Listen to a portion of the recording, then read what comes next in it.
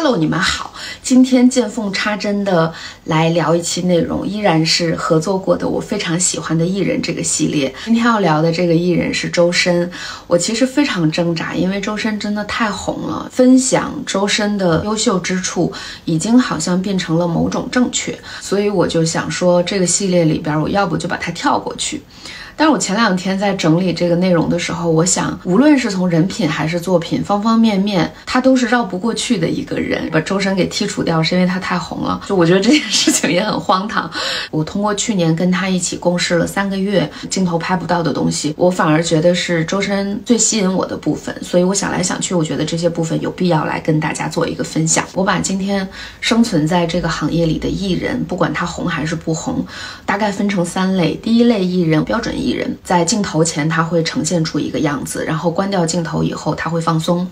他会有一些小小的毛病啊，甚至有些人是大毛病，甚至有一些人是台下你就觉得他应该拉着举枪毙五分钟那种，但是他依然可以在舞台上保持一个很有分寸感、很体面的状态。有所遮挡、隐藏和优化吧，掩盖掉自己不太好的那个部分，放大自己最优的那个部分给观众看，这是绝大多数艺人的一个状态。然后第二类其实也是数量非常庞大的一类朋友，在镜头面前会有缩小的，其实生活里愿意跟他做朋友，愿意跟他讨论音乐，做音乐的时候是个非常有魅力、非常松弛、非常自如的状态。但是当镜头给到他的时候，他就一整个尴尬住了，尬到连他私底下十万分之一的魅力。都没有，我们经常会为这一批人觉得惋惜，不具备扮演能力的这一批非常 keep real 的音乐人，在这个点上就是会吃一些亏。这是第二类的艺人，第三类艺人是非常稀缺的一种艺人，我管他们叫平进平出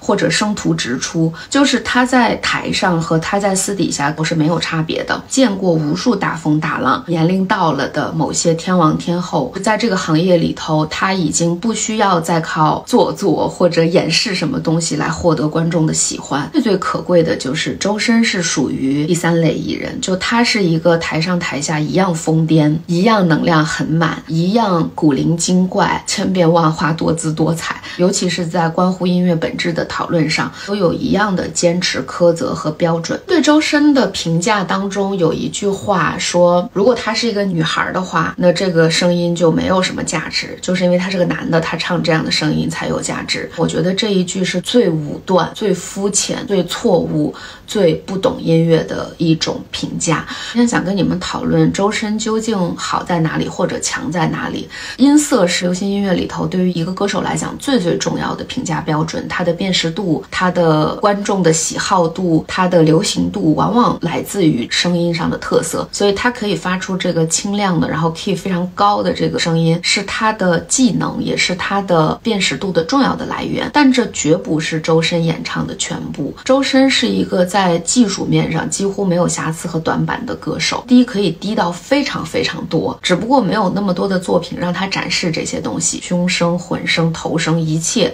他所有的功能都开发的非常好。这是技术面上，然后艺术面上，我觉得周深可以驾驭的音乐风格、口吻、演绎、表达、表述，超级无敌多。他像是一个孙悟空一样，他有七十二变。我在去年天赐的时候加的所有的班，坦白讲都是因为周深加的，但是没有一个人有怨言，因为为这样的音乐人加班，你会觉得非常的值得。通常节目录完其实都是十二点以后，做完这些后采备采后，直逼凌晨一两点钟，不管这个节目录到。多晚，他都会元气满满的跑进我们的房间来，然后跟我们讨论他的下一首歌要怎么准备和怎么唱。大家都会觉得哇，有些人凭本能就能把歌唱得很好。可是，一首歌三分钟的演唱里面，它其实包含着无数演唱者、这些制作人、这些工作人员的巧思和设定。每一个音要怎么唱，大家都要去做这种精细化的处理和设计。他会自己有一个想法，老师们觉得有没有更优解？然后你们客观的帮我听一下，这样会不会？怪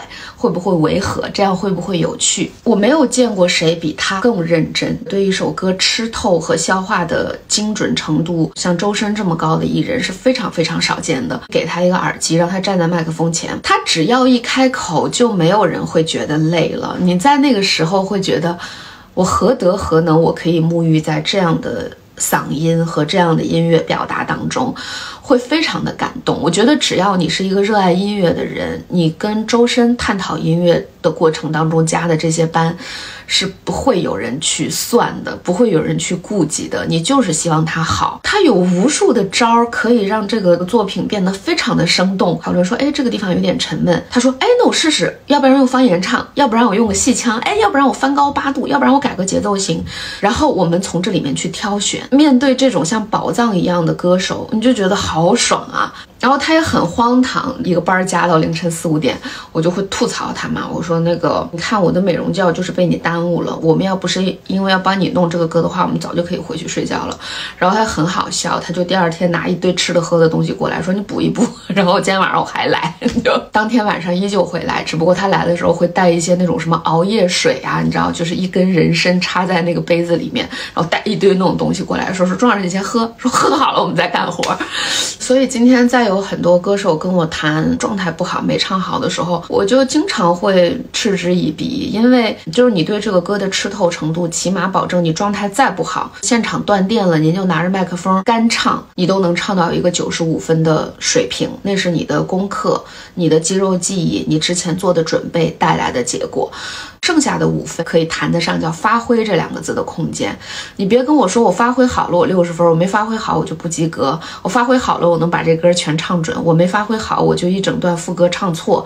那这不叫发挥，这叫事故。我今年知道周深没有办法来天赐的时候，我是非常非常遗憾的。其实，对于我们音乐组这些同仁和老师来讲，我们失去了很多做音乐的快乐。Vocal 这个东西，它也是一个乐器，全场乐队响起来，那个人声是一个乐器一样精准，同时又比乐器有更丰富的情感和表述能力。它跟整个乐队交相辉映，大家带着那个耳返听现场的时候，你会觉得如沐春风，会觉得自己。的工作变得有价值。你对待一个好歌手的时候，你彩排会是这样的心情；面对一个糟糕的歌手的时候，他就像永远像是一把没有调准的小提琴，那就像锯床腿一样的声音存在在舞台的正中心，配置着这个行业最好的乐手老师们去迁就他的这个歌声。但是只要周深在，我们就还是有这个奔头和有这个开心的可能性。他提供了一个范式和一个标准，他就像一个撑杆跳的一个杆儿一样，跳过去你就是卓越。周深在现场的演唱的稳定度，对音乐性的把控，我觉得就是流行歌该有的范式，就是你只相信你看到和听到的东西。哦，一个九几年的小孩可以唱成这样的时候。对于在场的每一个以音乐为生的人来讲，都会是一个振聋发聩的洗礼，你无处可逃，他就轰然出现在你面前。这个卓越和优秀的程度会让你怀疑你自己的艺术人生。那么，当这个标准不存在以后，它会出现一个。说的比较尖锐一点，叫臭棋篓子跟臭棋篓子下棋的情况，就是，哎，他刚才一整段都在走音，都哑了，都不出声，哎，我好像才走了四个音，我还行，我比他强点儿，哎，他那个好几句都进唱进错了，哎，我还没进错，我还挺好的。我给你们举一个比较欠儿的例子，有点像班里的倒数第一、倒数第二、倒数第三。说这个选择题，我觉得应该选 B，那个说选 C，然后另一个说选 D，然后周深就像是年级第一一样过来，默默地告诉大家说，刚才呀那道题它是一道应用题，它会让很多人开始要去反思，这个时代已经有一个这样的歌手存在在那里，我当何去何从？周深带给很多人的压力，应该是现场上会有这种压迫感的。